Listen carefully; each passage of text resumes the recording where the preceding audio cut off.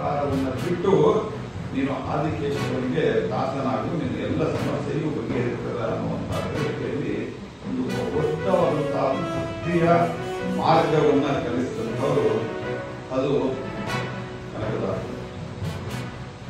ಅವರು ಬಂಗಾರವನ್ನ ಅವ್ರ ಕಡೆ ಇರಲಿಲ್ಲ. ಬಡತನವೇ ಆಸ್ತಿ.